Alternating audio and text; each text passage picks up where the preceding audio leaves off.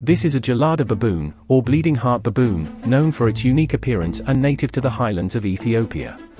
These primates have a significant feature, their canines, which are longer than their other teeth, and are used in displays of dominance and aggression. Gelada baboons use their canines for several purposes, including defense against predators, establishing hierarchy within their community, and during mating season. During the breeding season, males exhibit a distinct behavior called lip flipping, which involves curling back their lips to show off their longer canines.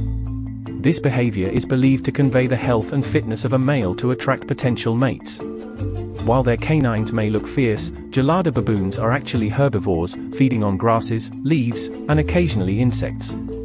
Their specialized dentition allows them to graze in open grasslands, where they can obtain their food without competition from other herbivores.